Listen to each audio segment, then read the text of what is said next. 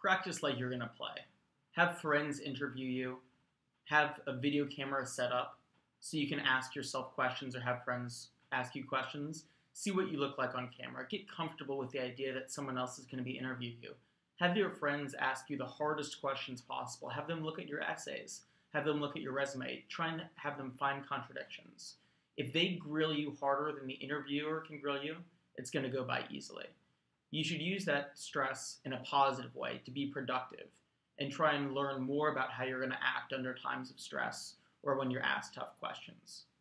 Now, before you go into your interview, the couple days beforehand, relax.